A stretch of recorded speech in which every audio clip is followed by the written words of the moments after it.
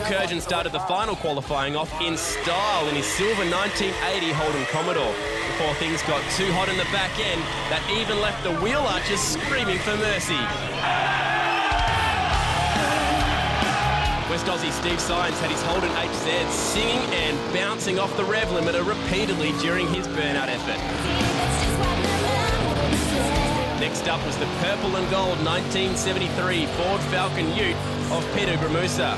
Peter started strongly and kept high RPM for 56 seconds before easing off the throttle for just a moment, and the engine temperature became too hot for a strong finish.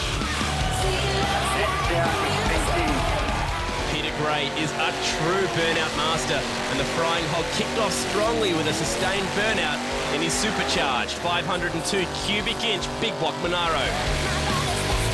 Gray's optimal revs for almost a minute and a half saw the tyre sidewalls say goodbye. Danny Smith's big black Chev was a real crowd pleaser.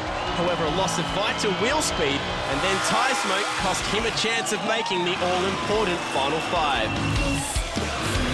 But he still went hard to the finish with the engine cooling system begging for mercy.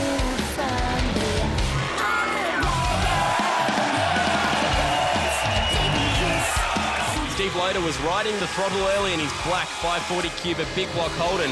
That cost him vital points, and then we saw a big flame out moment which ended his run.